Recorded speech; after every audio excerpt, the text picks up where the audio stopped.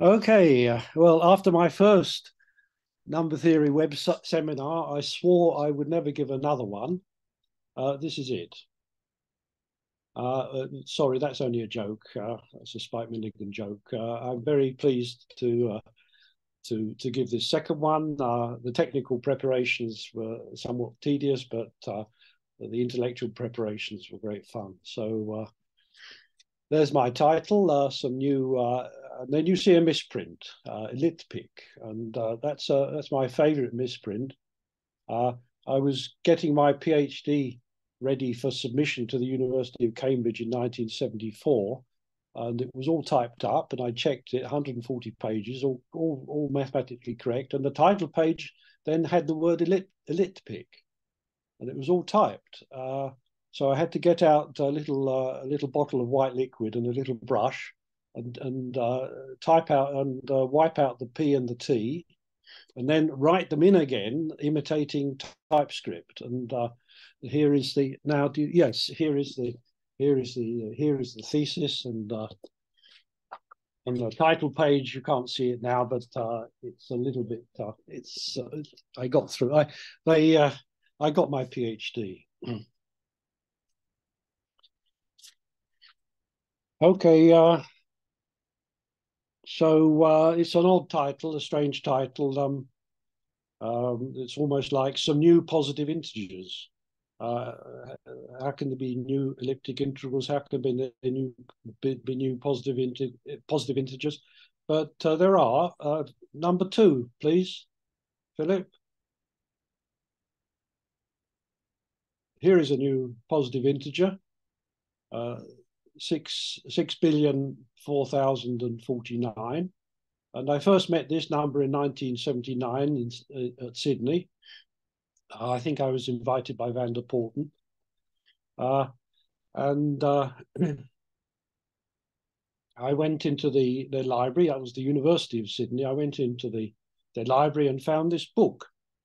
Find this this find by inspection a factor of this number six billion and uh, four thousand and forty nine. And I thought, how can anybody find solve this problem? Inspection means you can't even write anything down, and uh, and it contains all kinds of all kinds of things like this. Uh, here, here you have to factorize these huge, large numbers. Here you have to factorize as far as possible, but these numbers you have to factorize completely. And the book was written in 1906, so you didn't have any, you had no electronic calculators or computers or anything like that to help you. and you only these funny calculating machines. Okay. Uh, now, number three, please, Philip. That's yes, 1979. Uh, that's also an interesting new number. Uh, that's a prime number.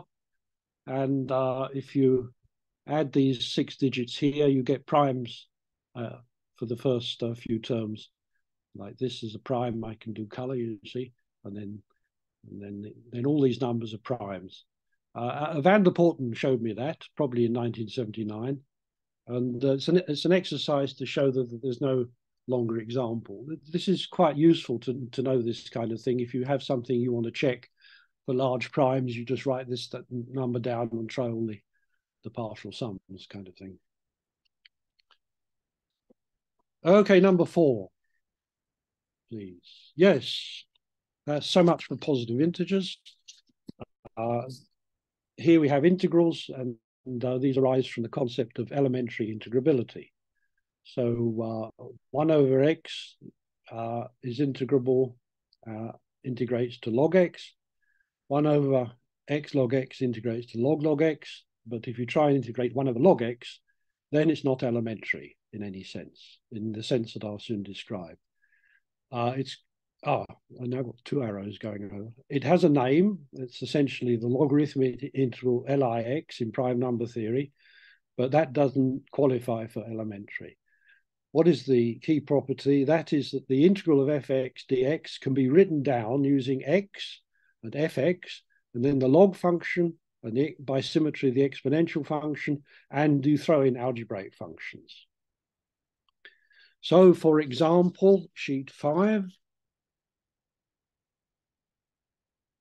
uh, this could be an answer to the integral x of square root log log x plus log 1 plus x x fx. So you're allowed all kinds of uh, combinations, uh, additions, uh, and uh, iterations, and so on. And uh, you can do a, a, formal definition, and the best formal definition, I think, is by differential algebra. I won't give it here, but the differential algebra um, completely sweeps under the carpet all problems of domains of definition or even differentiability and this kind of thing. It doesn't it, it doesn't even sweep under the carpet, it elim eliminates them completely. Uh, anyway, I just skip this phrase now, and uh, and I another reason I don't give this is that there's a simplification. That's about around 1840. Liouville showed that uh, exponential is not really needed in the definition, and even log log and algebraic functions are not needed either. At this point, I would skip back to the previous one, but I that's too tedious, I think. Uh, uh, in the previous one, we did see a log log, but it wasn't really a log log. It was log of log, and log was given to you in the integrand. So, uh, and the idea of his theorem, which I don't state uh, precisely, uh, fx the integral fx dx is elementary if and only if it is a linear form in logarithms. And what does that mean? Uh, slide six, please. Uh, f0 plus c1 log f1 plus up to cm log fm. Uh, this is the formula labeled Liouville.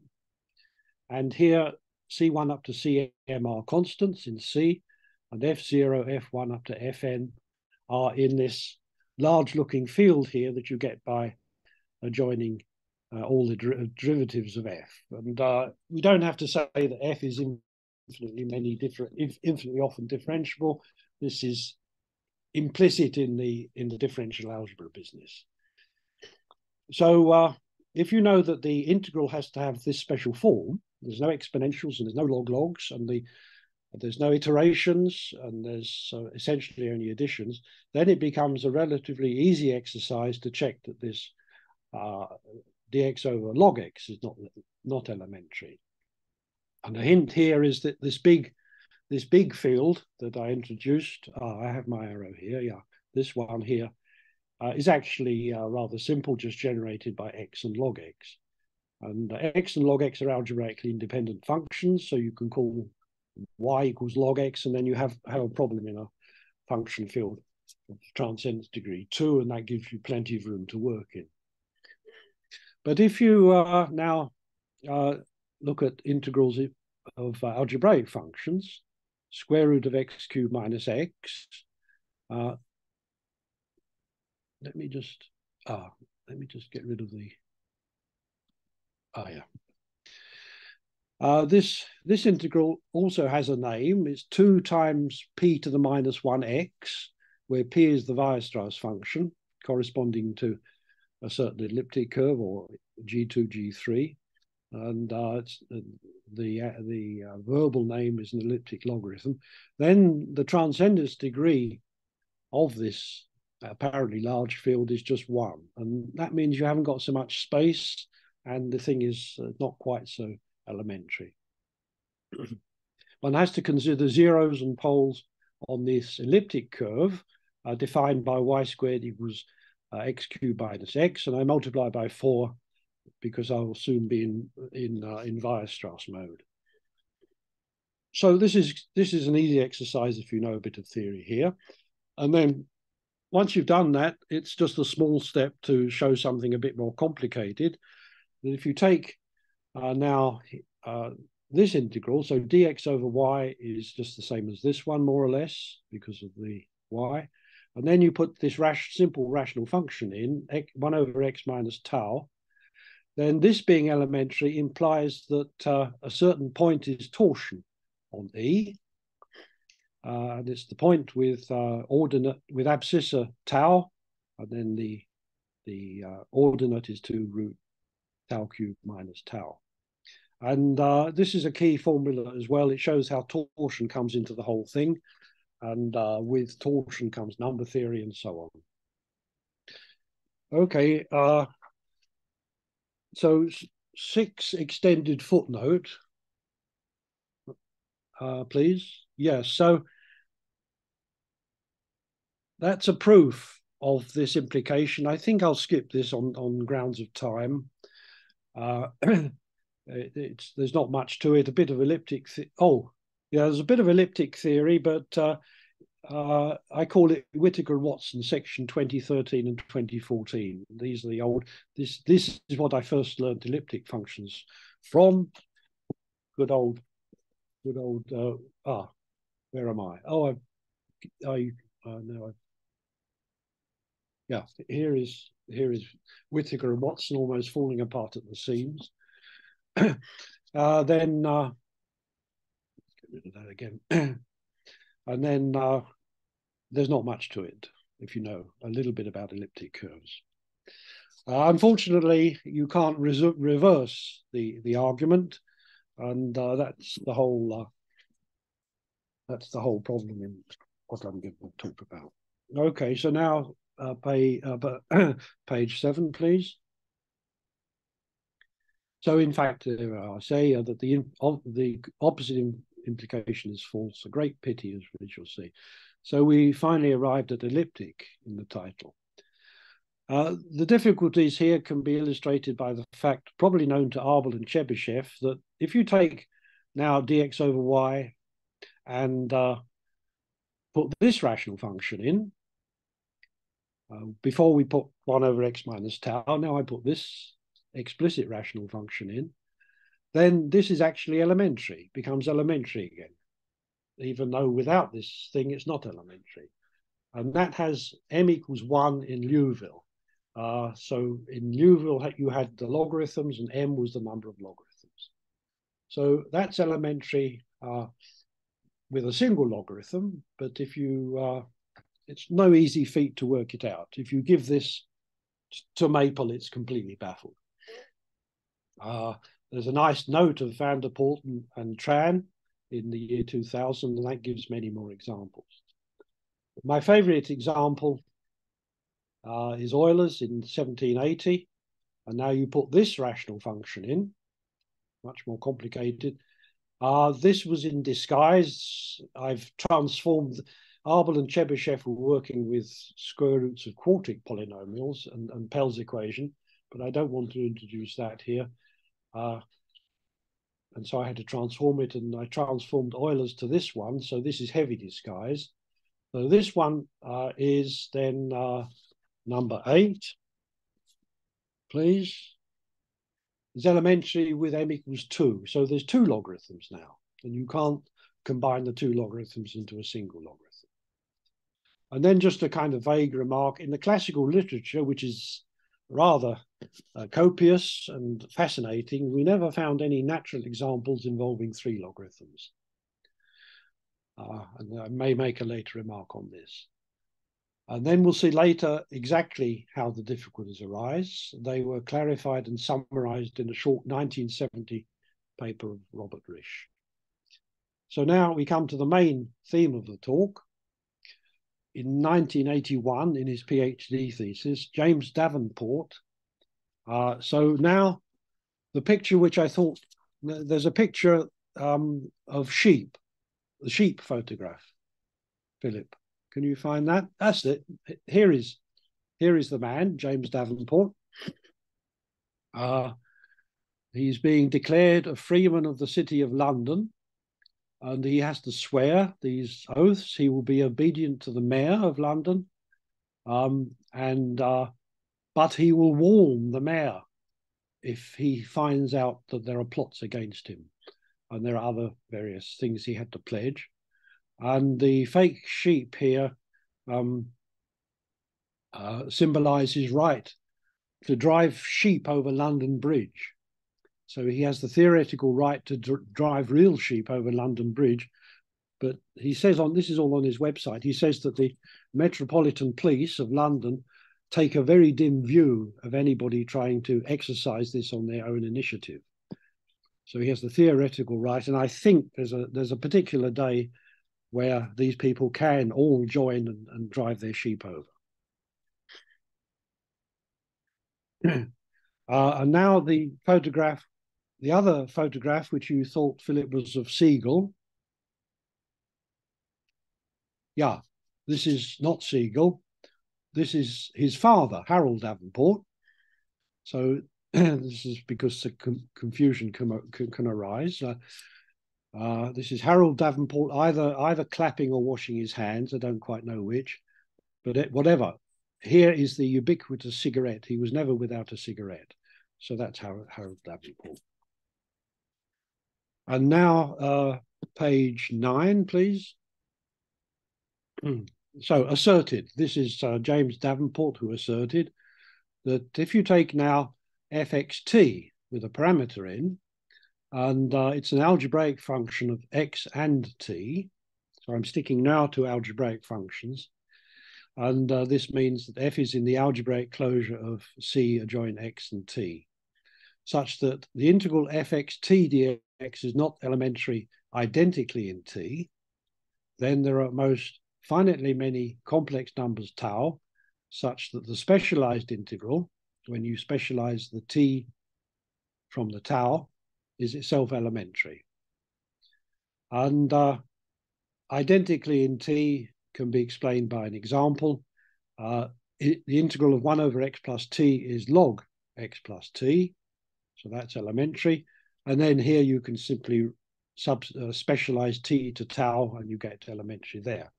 So when you have this identically in t business, then um, the thing become stays elementary under all taus, except perhaps for a finite number.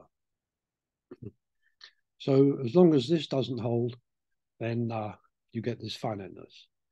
Um, this is a rather bold assertion and, and somewhat original. Uh, uh, if you take uh, the classical specialization theorem of number theory, Hilbert's irreducibility theorem, then this doesn't hold in such a strong form. Uh, so x squared minus t is irreducible, but if you put t equals n squared, then x squared minus n squared is not. So uh, you don't have finiteness in this case, but he asserted that you have finiteness in this case, in our elementary integrability case. uh, page 10, please. but uh, in fact, uh, it was too good to be true, and uh, on the 9th of February 2016, I think it was about uh, quarter past three in the afternoon, after about three years' work, Umberto Zannier and I found two counterexamples. Uh, the first was uh, this one. So we take, again, the old dx over y, and we put another rational function in, which is slightly more complicated now of degree 2. And this is not identically elementary. Uh, not quite so easy to see it, but uh, it becomes elementary at t equals tau if and only if this point that we've seen before is torsion of order at least three on the curve, on this curve. Uh, that that looks like this formula torsion, uh, but that has only uh, only if. So here is if and only if, and here we can go backwards. And uh, this point is torsion for infinitely many. this gives infinitely many uh, taus. You can just choose your order as you like. And so you get uh, infinitely many uh, taus. And so this is a counterexample to his assertion. And uh, if you think about it, this, this has some sort of strange uh, flavor. If we take order 1979, uh, which we happen to know is prime, then the integral becomes, uh, uh, it has m equals 2. It's a linear form with logarithms. It's a c1 log f1 plus a c2 log f2, as in Liouville. But f1, f2, uh, they're now in the function field of the elliptic curve, cxy. They must have degrees in x, at least 989. Uh, whereas the original thing had degree only 2. So if you take an arithmetically complicated uh, tau, then uh, the integral gets uh, geometrically complicated. Uh, number number 11, please. Uh, so arithmetic complexity implies geometric complexity in some sense. Uh, this may remind people of Abeli's theorem, where you have a similar kind of uh, odd, odd behavior. So this uh, this counterexample is not one of the new integrals of the title. This is an old new integral. Uh, this elliptic curve uh, has complex multiplication in this uh, quadratic field, q root minus 1. And for example, the action of minus 1 on xy is minus x times minus x and then root minus 1y. Uh, we had a, the second counterexample, and that had a similar phenomenon in q root minus 3. Uh, as is well known, these are the only imaginary quadratic fields with non-trivial units, and it seemed to me that our proofs used these units. uh, footnote here, we already knew that every elliptic counterexample must involve complex multiplication. But so, but uh, in this in our paper of 2020, we only had uh, root minus one and root minus three. Uh, page uh, 12, please. And in our paper, we uh, we had to we had to restrict to algebraic coefficients. Uh, I said that uh, f was uh, algebraic over c xt. Here we have to have uh, algebraic coefficients in. Uh, and then we showed that such counterexamples are, are, are very rare. And they were rather difficult to find, so we called them elusive.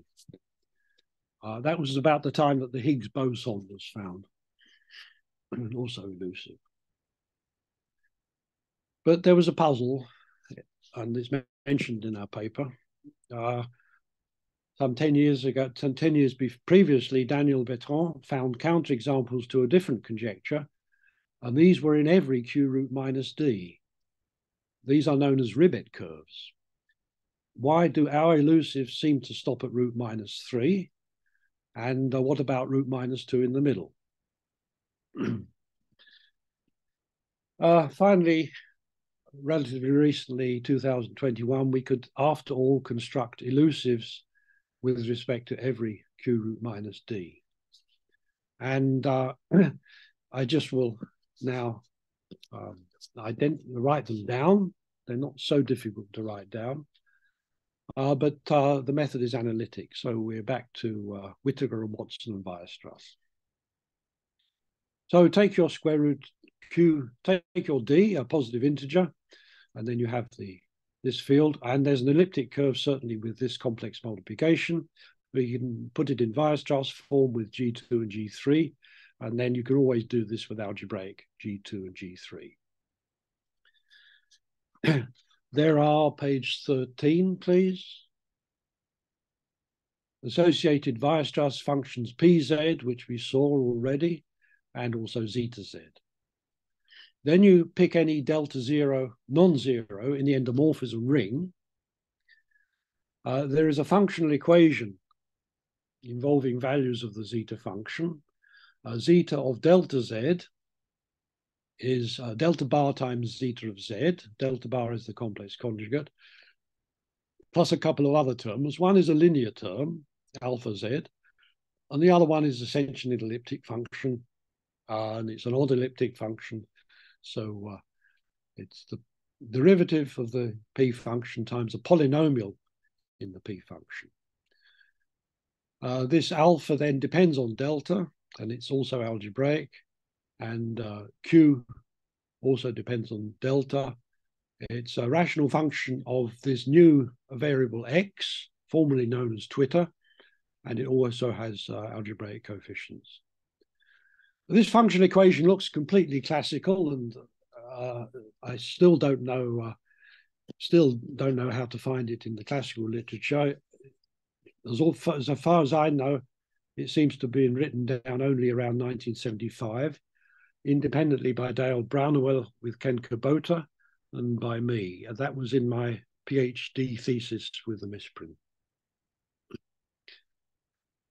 Now, if you differentiate this and, and use the uh, zeta dashed is minus p, then you get another functional equation, this time involving just p, and it looks much nicer because uh, this differentiates to alpha, uh, and uh, you just you you get simply uh, p of delta z is r of pz, where r depends on delta as well, and is also this rational function. now we're nearly at the different, nearly at the counterexamples. Um, they come in page uh, 14. Now take delta not in Z, so a real a real complex multiplication. But first we had a differential. We called it the usual suspect because uh, it was always it was it was somehow the obvious one to be uh, to have this property. Uh, so it's omega now. I talk about differentials. I don't use integral signs anymore. Omega usual suspect is omega usual suspect, depending on E and also the delta. And you have the usual dx over y, and then you have these, these terms here. This is also a rational function of x, a simple rational function of x, but uh, involves these uh, rational functions of t as well.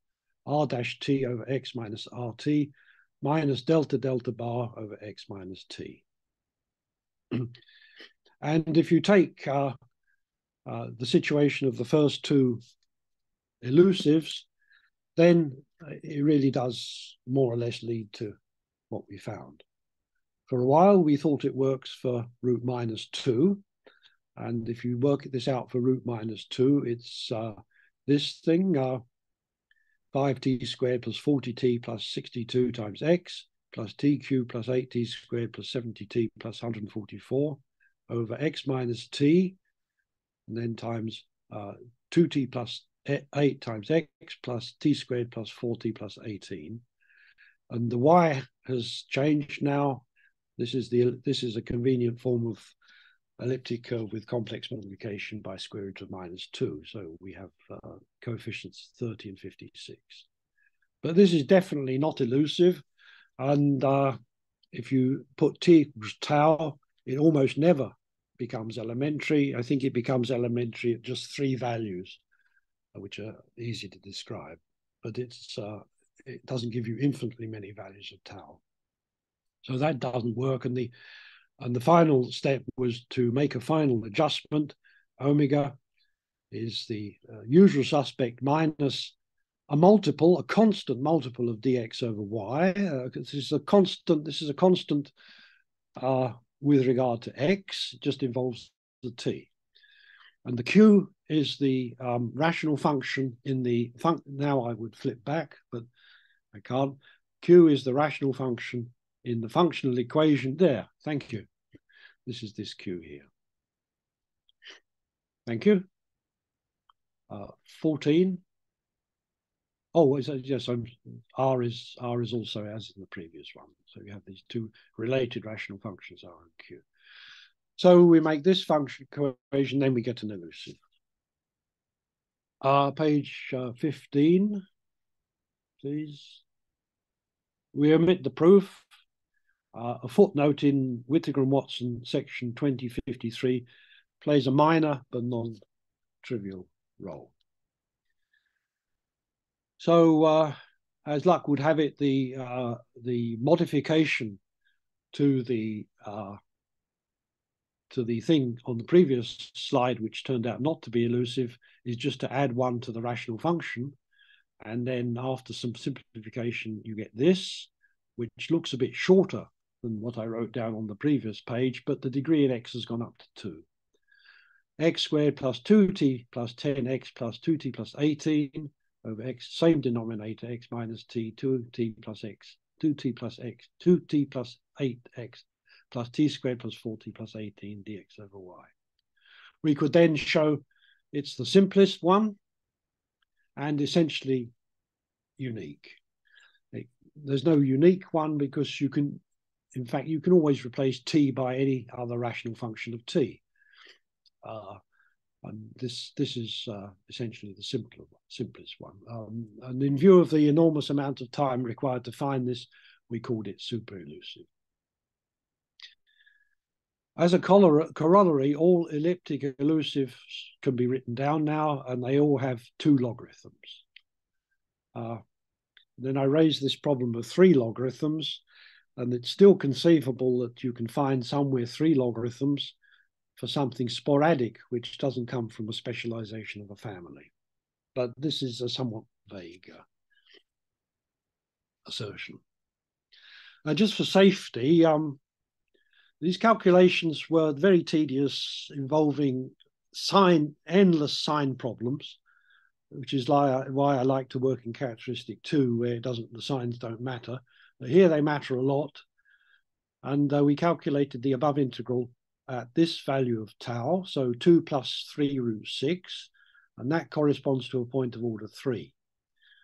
Uh, it is m equals 2, so it's c1 log f1 plus c2 log f2, where, page 16, uh, c1, there we are, they're, written down. I've taken some trouble always to read out formula to slow the expedition down, but I'm not going to read these out. Uh, you can see that uh, here you can see that the C1 and C2, their ratio is this root minus 2, so it's irrational. And that means you can't combine the two logarithms. Uh, how does one actually do this integration? Maple, as I said, is is out of depth with much simpler things, and and uh, here you you're this looks like a, a number field of, of, of, degree eight here with i in it and square root of two and square root of three, not to mention this square root of a square root here. So it's a field degree 80 or 8 or 16, and it's just out to can't handle these things. At least I don't know how to make it. Uh, there's a there's a there's a computational machinery called FriCAS, and that can actually do it. Um, FriCAS is not guaranteed to turn up an answer. Uh, one again, one looks at the poles of the differential uh, with t equals tau. Um, they're simple, and uh, if you remember, the denominator is. Could we have 15 back? Yes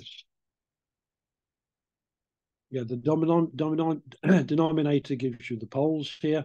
And so x equals tau is, is gives you one, actually two, two uh, one pair of poles. And this other value of x gives you a, a rational function of t. And they're written down in the uh, sheet uh, 16 and now 17, I think is, is needed. That's 16, that's tau pi 1, and now sheet 17 is pi 2, and that's this, uh, this abscissa here. And in fact, pi 2 is square root of 2 times pi 1. And then you can find logarithmic differentials, df1 over f1, df2 over f2, with the same poles. If, if you have this, uh, if you take tau suitably to correspond to a torsion point that would be pi 1 is a torsion point, and therefore pi 2 is automatically a torsion point. We then find C1, C2 such that this linear combination has the same residues. So now you've got the same poles and the same residues. All the poles are simple. And so if you take the difference between the uh, original differential and this linear combination, you've got no poles at all. Now, the only differentials with no poles are constant multiples of dx over y, constant re with respect to x. And uh, one just works out c to 100 decimal places if, if one's desperate, and the one gets c equals zero. This c is related to this final adjustment coefficient to delta qt uh, in the differential, but we it's zero here because we kind of took it over to the other side and made it zero. We calculated some other super elusives and we went up to Q root minus 163 for fun. This is the last one where you can stay over the rationals because of class number one. Uh, now the degree in, two, in T has gone up to 162. The degree in X is still two. And some of the coefficients have 535 digits. I could show it on the on my screen here. Well, I can't, in fact, uh, but I have it on Maple, but it takes about half an hour to scroll through. so uh, page 18, please. Uh, and now I will change the theme a little bit, uh, and uh, I can the link between the two themes is the Weierstrass sigma function. Sigma dashed over sigma is zeta. And there is a functional equation for this as well of the same sort. Sigma delta z, here is sigma delta z and here is sigma z. And this is to a power, delta delta bar that we've seen before. And the whole thing is squared. And then uh, you have this uh, exponential polynomial where alpha is as before, and p is as before. No, and, and p now is uh, also depends on delta, but is a polynomial. So you've got gone from rational functions to polynomials, and uh, this is this is rather handy for calculations. Um, if you differentiate logarithmically, this one you get the functional equation for zeta, which then differentiated gives the functional equation for p. So it's kind of a hierarchy of things. And this, this one for sigma is somehow the fundamental one. And it also supplies an indirect connection between the elusive integrals and the Ribet curves. So I've no clue how much time I have now. Uh, could someone give me an estimate? Um, about 10 minutes you can go because you started later. So it's it's up to you. Okay, I'll have to I'll have to stop. Let me see. I'll, I'll go ahead with this uh, this uh, this. Uh, I really wanted to talk about the these Ribet curves, and the connection is is Manin Mumford, uh, the uh, well known in Diophantine geometry circles, about torsion points. Uh, the simplest case here is to solve completely x1 plus x2 equals 1 in roots of unity. Here it can be done with a simple picture. Page 19, please. Does not contain the simple picture. Uh, after that, one can treat a general algebraic curve in GM cross GM with the multiplicative group GM of non-zero complex numbers. So you've got a general algebraic curve replacing this line. After that, one can work with a general inside a general commutative algebraic group G. So this would be this G, but then you can have now an abelian variety. but uh, just as in the Davenport assertion, one must allow a parameter. And this puts you in the so-called relative Manin-Mumford situation. And uh, our own work in 2020 involved mostly abelian varieties then parameterized by a single parameter. But we also had to contend with so-called additive extensions of elliptic curves, G, and these sit inside an exact sequence for an elliptic curve E here, and uh, GA is now a longhand for the for the additive group of complex numbers. And uh, now you allow parameters. Um, you can't allow parameters in there because C involves no parameters, but you could allow parameters in E. And uh, in most of the work, it's the uh, this is this is Legendre. It's the Legendre curve, page 20, please. Defined by y squared equals x, x minus 1, x minus t, for example. So that was the situation for elusives as regards torsion. By contrast, the Ribet curves sit in multiplicative extensions G, uh, and now it looks much the same. You have G and you have uh, an elliptic curve, and you have GM here. So that's that's now multiplicative. So I put a one instead of a zero. So it doesn't look like a big change. Uh, in fact, now the theory also forces complex multiplication on you.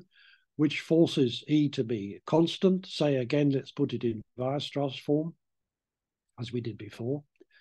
And, uh, and then we have uh, our G.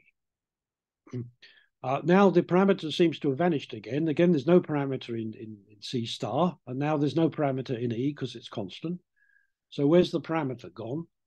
Uh, and here it comes in a more subtle form. Uh, these multiplicative extensions are far from unique, uh, and they're parameterized. They come in families, whereas the additive extensions are the additive extensions have much more rigidity and they're practically unique. They are they're hundred percent unique in in in, in current number theory terminology, and they're all isomorphic to each other. Here, the isomorphism classes are parameterized themselves, and they're parameterized not by a simple t, but by points pi on e itself. It's not clear how to see this. Um, one can imagine, one can see it through the exponential maps of the of the algebraic groups, the exponential map on uh, GM is is is the exponential map uh, e to the w from C to GM, but on G, in here this G, now that's get that's two dimension two dimensional, so you'll have functions in C2 of Z and W, and the key functions are page 21 x equals pz and also you have p dash z, but that's I'll, that's uh, that's kind of somehow superfluous. The other critical uh, parameter is uh, u, and this is given by sigma of little z plus big Z over sigma of little z, sigma big Z times e to the w. So that's the e to the w that we saw before with this little modification. And So we have uh, little z and w, and we also have a big Z floating around. The big Z is more or less pi. So if you write pi, parameterize pi analytically, it's pz, p dash, p dash big Z, p big Z, p dash big Z. So with these two uh, algebraic coordinates, we can sort of see G in C2, some kind of projection on it, but good enough for practical purposes. And if we throw in t equals pz into here, then we get a much better view, and that's in C3. And now you've got the parameterization into account. Even though you've still only got a group, an algebraic group in C2, you've got an object in C3 whose fibers are the various um, various g's. And uh, now you have uh, algebraic coordinates x, u, and t. And now in this C3, we would like to construct the Ribet curve. Uh, we pick delta now in the endomorphism ring even more special. So it's purely imaginary. Delta bar is minus delta.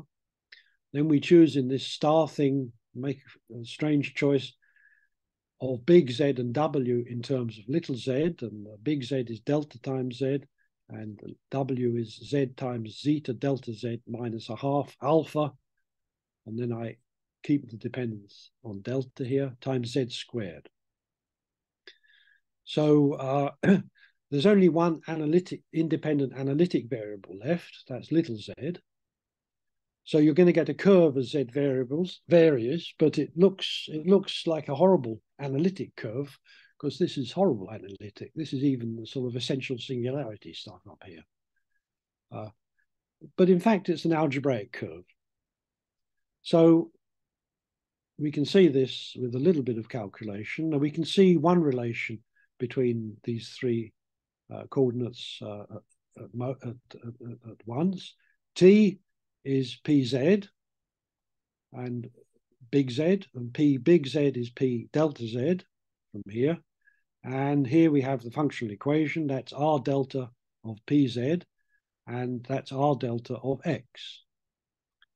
So T is a rational function of X, and so we have one, at least one algebraic relation between these two, uh, three coordinates. Uh, page uh, 22, please. So an algebraic relation. Now, what about U? U now becomes, uh, so big Z was here, but now it's delta little z. And then we had some exponential parts and they simplify to, to this. And uh, here you see sigma delta z. So this suggests the functional equations for sigma.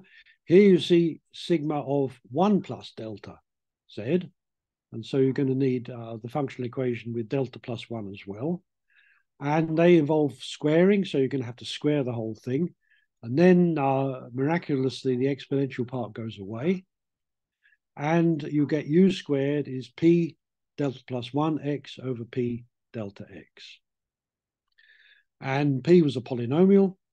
So this is a second algebraic relation, definitely different. And that gives you your curve. Uh, and uh, I think here this slide is the first appearance of the of of Ribet curves in print, at least in this kind of uh, two-dimensional form. If for delta is minus root minus one, it's the boring u squared is minus two root minus one x. But for delta, it was minus two, the the uh, source of all that, all that troubles. It's this longer thing, two u squared x plus four is one minus two minus root minus two x squared plus 4 plus 10 root minus 2x plus 14 plus x root 2. For delta equals root minus 163, it is, page 23, about time to stop. Uh, so do I have, um, um, let me see, do I have, say, three minutes? Yes, yes, please take, please take the time. Yes. Uh, am, am I, I don't want to go over. No, no, please, please go ahead, David, please. Uh, just perhaps one more slide. Um, uh, reminds me of a story about uh, uh, that someone was in the next hotel room to the famous cellist Rostropovich, and they could hear him practicing a piece, but they knew it wasn't the piece for tomorrow's concert, and so they were puzzled. And when they got to the concert, they found that he was actually practicing his encores. So uh, here are my encores, which I've practiced and written down, and uh, this is just open problems. Um, so uh, complex coefficients to algebraic coefficients. Uh, there's no work on this at the moment, uh, but uh, it's not expected that you get any new elusive things. And then even over here, this uh, doesn't uh, this doesn't automatically point to elliptic. You have to allow curves C, say, of, of higher genus. We've been dealing with genus one. Uh, genus zero is easy. There are no elusives. Um, already we had seen in our paper that if, if there is an elusive on C, then the Jacobian must contain an elliptic curve with complex multiplication. And this more recent work enables us to reverse this implication. In other words, there's an elusive on C if and only if the Jacobian contains an elliptic curve on complex multiplication. Okay, I think I'll stop here.